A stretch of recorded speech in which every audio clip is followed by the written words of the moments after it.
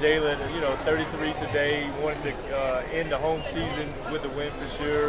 Um, how did y'all feel? Y'all able to pull away uh, there? Like, well, I think it was just a bounce back game from uh, the big loss that we had the other night. We just try to come out um, and make a statement and just try to get back to running because uh, I think SFA did a great job of slowing us down. So we just try to push the pace against New Orleans, and uh, I think they did a great job of slowing us down in the second half. But uh, we ended up busting open so much in the first half that uh, they couldn't really cut the lead down like they wanted to in the second half. 33 for you tonight. What did you feel um, was, was just working for you offensively?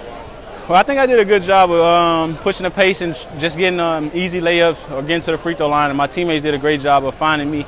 And uh, they did a great job of screening and getting me open. And I just tried to make the open looks. You mentioned it was a bounce back game today. Uh, how important was it to, to have a, a pretty decent performance just to, to kind of go into the conference tournament on a high note? I think it's very important to uh, have uh, confidence like this and going into the next tournament. Uh, try to carry over from this game into the next game. Whenever, whenever and whoever we play, just try to keep our tempo up like we did tonight number four seed uh, Texas A&M Corpus Christi beat Abilene Christian, so so push it to the number four. Uh, how do you feel about where this team is at right now, going in as a number four seed? Uh, I mean, three or four seed, we still going to have to beat uh, both the one or the two seed. So um, I don't think it was a big deal uh, which seed we got. We just lucky to be in in the tournament and um, have uh, one bye and try to get a win and then play one of the top seeds and try to knock them off and then play whoever we have to play in the championship to get to the NCAA tournament. Then I'm also working on a story about how scoring across the NCAA is, is down. Um, historically, it's, it's kind of trending down. Not the case in Natchitoches. Um, you know, which is some of the the keys in, in how this team can score points? Uh, I think we do a good job of just getting a lot of um, touches, like a lot of possessions. Uh, the way we uh, push the ball up the floor, we get so many possessions that we have a lot of opportunities to score the ball. And uh, once once your team get that many opportunities to score the ball, they would put up a lot of points. And uh, the type of pace that we play, uh, that has something to do with it too. I think the coaches do a great job of making sure that we get a lot of possessions and um, try to get a lot of points on the board. As a scorer, uh, scorer and distributor for that matter, um, th does y'all's pace allow you to get into a rhythm, allow you to get into a groove where you where you can score quickly? Like I think um, God placed me here for a reason. He uh, did a great job of putting me in the position um, with these coaches, and they do a great job of just letting me be free and pushing the pace and just getting in different uh, spots on the floor to score the ball, and they just give me the green light to shoot it whenever I feel like it. And my teammates trust in and believe in me, and just like I trust and believe in them.